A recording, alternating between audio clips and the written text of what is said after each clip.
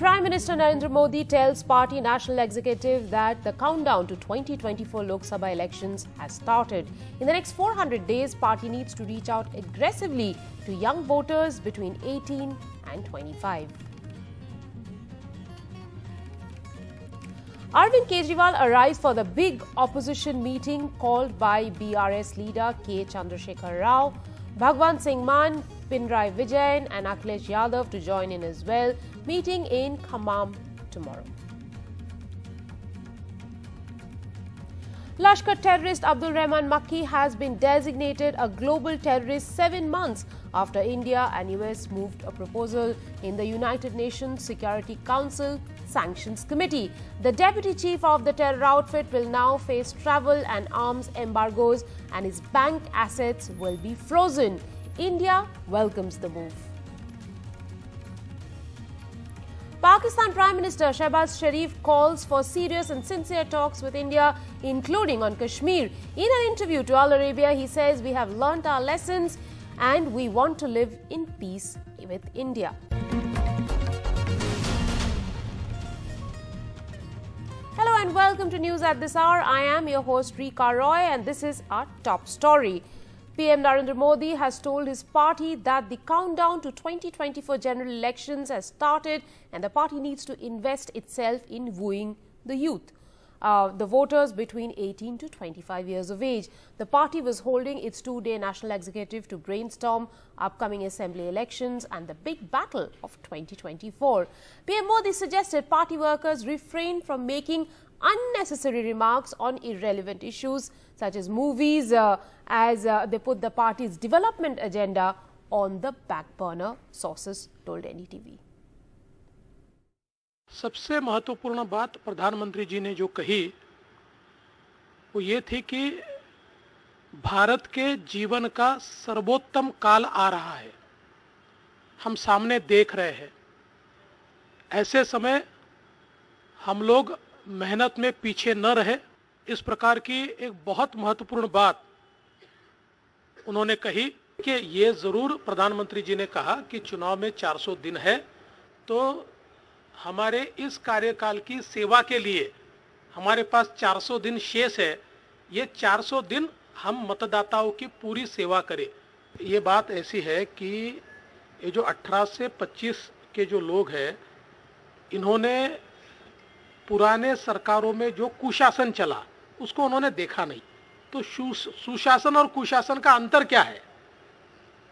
जब हम लोकतंत्र में काम करते हैं तो लोकतंत्र में सुशासन से किस प्रकार से प्रगति होती है इसका एक कंपेरेटिव इस प्रकार का एनालिसिस करते हुए अगर हम उनके पास जाएँगे तो उनका लोकतंत्र में विश्वास भी बढ़ेगा और साथ साथ कुशासन और सुशासन का अंतर भी उनको समझेगा BJP chief JP Nadda will continue to head the party till June next year. The party senior strategist Amit Shah announced on the second day of its national executive meet the term for Mr. Nadda, who took over party's president, uh, party's top post, in fact, from Amit Shah in 2020 was scheduled to end in January this year.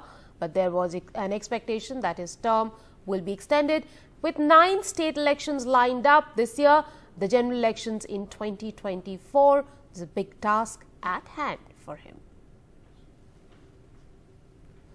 Congress leader Rahul Gandhi faced a peculiar security situation with a youngster trying to hug him in Hoshiarpur in Punjab during the Bharat Jodo Yatra. The leader, though dismissed it as an over-enthusiastic uh, kid, his party members had to pull the man away.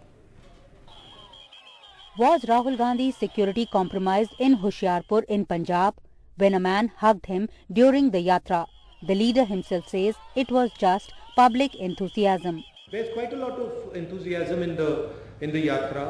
Many people uh, get overexcited, and that was a case where he was a bit extra charged up. So there's no problem. It's happened many many times before. Uh, I wouldn't call that a security lapse. In the video, man can be seen hugging Gandhi and Punjab Congress chief Amrinder Singh Raja trying to stop the man. He was eventually pulled away by security personnel. The Punjab police too rubbished claims of a security breach. देखें number one point की जो video मैंने देखी है उससे लगता है कि as if it is a security breach we have made a perfect arrangements. But yes, there is nothing which we can get as a super perfect thing. The incident comes days after the Congress party's multiple complaints alleging security breaches during Bharat Jodo Yatra and their request to the centre to enhance security for Rahul Gandhi. The incident also causes concern as it comes ahead of Yatra going through Jammu and Kashmir. वो चीज़ें अच्छे से regulate की जाएँगी क्योंकि traffic भी चलती है बाकी चीज़ें भी हैं और जो बड़ी यात्राएँ हैं उनमें लोगों को असुविधा होती है सड़क ब्लॉक हो जाती है बड़ी चीज़ें हैं सिंगल रोड्स हैं जहाँ पर ट्रैफ़िक जो है उसमें ऑब्स्ट्रक्शन पैदा हो सकती है उसमें गाड़ी में सफ़र किया जाए और जो बाकी जगह हैं उनको एडवाइस किया जाए कि कुछ एक जगह पे जहाँ अलाउ करती है रोड वहाँ पर पैदल चला जाए। बाकी सुरक्षा की दृष्टि से भी जो जरूरतें होंगी उसके मद्देनजर भी उनको गाइड किया क्या स्पेसिफिक स्पेसिफिक इनपुट है इस यात्रा को लेकर कि कोई थ्रेट हो सकती नहीं इस तरह का कोई इनपुट नहीं है। The yatra will reach Lakhanpur in Jammu on the 19th of January, then proceed to Kathua's Hatley Moor next morning. Night halt at Chadwal, then on January 21st start from Harinagar to Duggar Haveli. From Vijaypur to Satwari on January 22nd. On January 25th, Rahul will hoist the national flag near Banihal and through Anantnag, the Yatra will reach Srinagar on January 27th and culminate on January 30th. According to sources, security agencies have advised the Bharat Jodo team against Rahul Gandhi travelling by foot in certain stretches and suggested he use a car and also limit the number of people travelling with him. A comprehensive security review regarding Bharat Jodo Yatra is still going on and schedule about their night halts is still being discussed with the Bharat Jodo team. But the fact is, for 10 days when Bharat Jodo Yatra stays in Srinagar, security agencies are going to be on their toes. In New Delhi, this is Neeta Sharma reporting for NDTV. Senior NC leader Farooq Abdullah will also join the Bharat Jodo Yatra. My colleague Neeta Sharma has more. Bharat जोड़ो यात्रा जो है जनवरी 19 को जम्मू पहुँचने वाली है। हमारे साथ नेशनल कॉन्फ्रेंस के लीडर मिस्टर फारूक अब्दुल्ला हैं। डॉक्टर साहब आप हमें ये बताइए ये बोला जा रहा है कि 21 पार्टीज़ को न्योता दिया गया है। तो क्या संदेश लेकर पहुँच रही है भारत जोड़ो यात्रा और आप लोग उसमें शामिल होंगे? सबसे बड़ा संदेश ये है कि जो आज नफरतों का माहौल पैदा किया जा रहा है हम्म। उसको ख़त्म करने की कोशिश की जा रही है। हम्म। कि भारत एक है हम सब एक हैं। हमारे धर्म कितने ही हों हमारी ज़बानें कितनी हों हमारी रास्ता कितना ही हो मगर हम सब इकट्ठे हैं और हमने इस वतन को इकट्ठे रखना है। वह है इसकी मेन मैसेज जो इस यात्रा की है। सर कुछ सिक्योरिटी कंसर्न्स भी इशू की जा रही हैं। राहुल गांधी को लेकर बोला जा रहा है कि कुछ एरियाज़ में उनको पैदल ना चलने की सलाह दी गई है। ऐसा आपको लगता है कि ज़रूरत है या बिल्कुल ज़रूरत नहीं। हम्म। क्योंकि इनका, इनकी मैसेज यूनिवर्सल मैसेज है। हर एक के लिए। वो सप्ताह में हो या सप्ताह से बाहर हो। कि अगर हम लोग इकट्ठे रहेंगे तो देश मज़बूत होगा। इकट्ठे नहीं रहेंगे तो देश मज़बूत नहीं होगा। ये मैसेज है। यूनिटी इन डाइवर्सिटी अनेकता में एकता। उसको कायम करना। सर, एक थोड़ा सा हटके इशू है जो वहाँ पे जो विलेज डिफेंस कमेटीज हैं, उन्हें अभी हथियार दिए जा रहे हैं। तो आपको क्या लगता है कि क्या इसका सिंबल है कि क्या जो प्रशासन है उन्हें सुरक्षा नहीं दे पा रहा है? इस करके दिया जा रहा है। देखिए, हम लोगों ने भी किया था। हमारी हुकूमत में भी था। उस वक्त ये विलेज डिफेंस कमेटीज बनाई गई थी। मगर हमने देखा कि इन लोगों ने ये वेपन लेके अपने ही लोगों पे जुल्म करना शुरू किया था। बल्कि काफ़ी जुल्म किया था उस वक्त। तो फिर हमें इस पर सोचना पड़ा, क्योंकि उनने अपने स्कोर सेटल करना शुरू कर दिया। और मास्टर बन गए बंदूक लेके। मैं सरकार से कहूँगा, इस पर सोचिए, इसको देखिए, एहतियात से देखिए। कहीं ये ना हो कि वही सूरत फिर हो जाए कि जो पहले हमारे वक्त में इनसे हो गई थी। अभी केंद्रीय गृह मंत्री गए हुए थे जम्मू ने रजौरी जाना था लेकिन वो वहाँ पहुँच नहीं पाए वेदर के कारण। वहाँ पर ये बोलकर आए कि 360 डिग्री रिव्यू करेंगे। तो आपको क्या लगता है कि अभी और कितना रिव्यू करने की ज़रूरत है? देखिए रिव्यू तो करना है गवर्नमेंट को हर वक्त है। हम्म। क्योंकि ये टेररिज्म का मामला है। हम्म। और टेररिज्म का मुकाबला करने के लिए हम लोगों को हर वक्त इसकी तरह सोचना पड़ता है।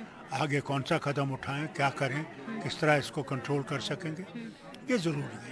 सर लास्ट क्वेश्चन ये भारत जोड़ो यात्रा में आप कितना मतलब जम, जम्मू में भी शामिल होंगे और मैं जा रहा हूँ कल हम्म। मैं इनको हमारे जो बॉर्डर शुरू होता है पंजाब से लखनपुर वहाँ पे मैं इनको रिसीव करूँगा thank you so much Delhi Chief Minister Arvind Kejriwal hit out at Lieutenant Governor V.K. Saxena for allegedly stalling a Delhi teachers training visit to Finland, questioning whether he really has a say in these decisions.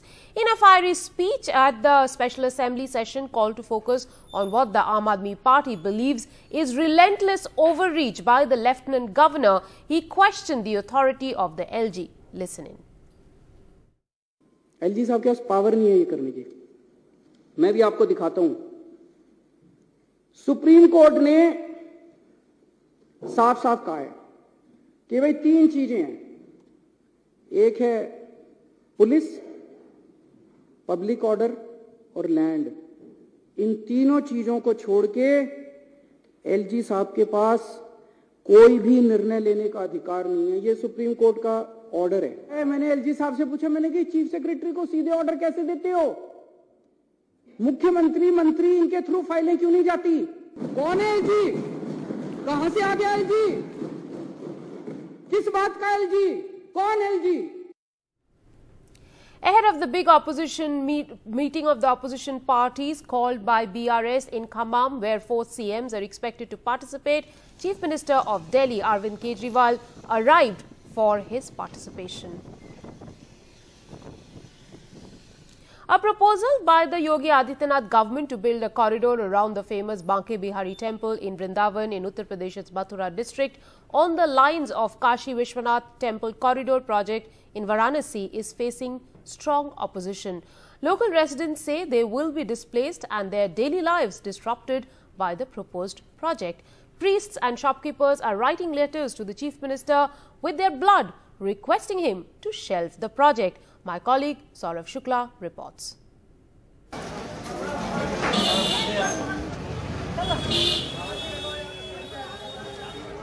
Market shut, priest protesting for two days.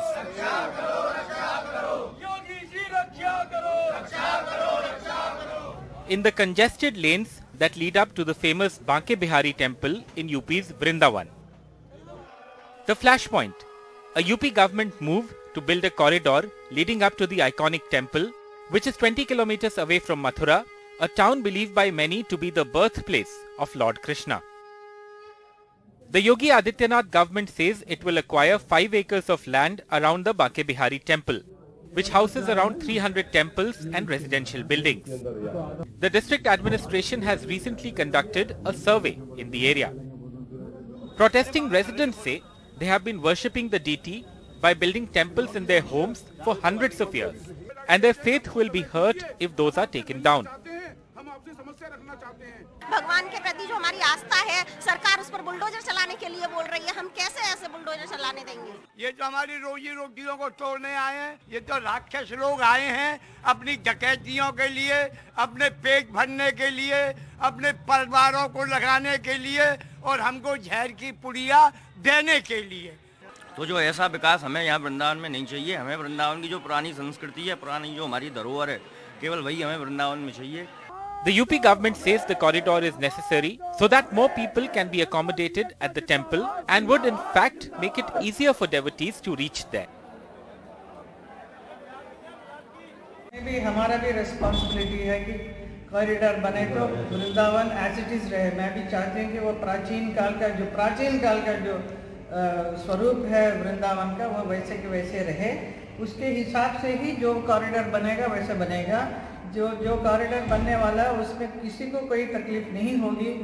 This is Banke Bihari temple in Vrindavan government has propose a massive huge beautiful corridor but people locals are protesting against it the biggest challenge in front of Yogi government is to satisfy these people because they are saying they are not going to take any compensation because it's about their belief. They can give up crores, but they will not leave Banke Bihari and go somewhere else. In Vrindavan with Saurabh Gautam and Xavier Thomas, Saurabh Shukla for NDTV. Switching tracks to another story, Sadhna Patel, the president of Chitrakoot Municipal Corporation in Satna district and her supporters attacked the team uh, that went to stop illegal mining, video of which has now surfaced in which the town panchayat president is seen slapping a policeman.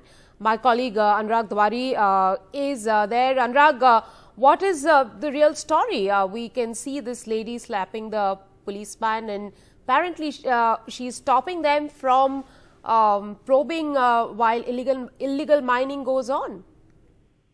Yes, the police went to the spot on Monday night uh, after receiving a complaint about illegal mining in Surangi village, which comes under Chitrakoot Nagar Panchayat.